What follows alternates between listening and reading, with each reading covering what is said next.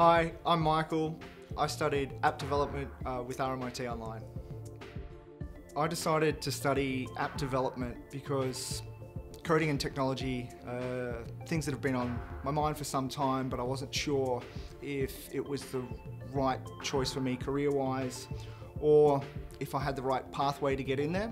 But then I saw an article in the paper about a pilot program being launched um, in partnership with RMIT and Apple for the first time in Australia.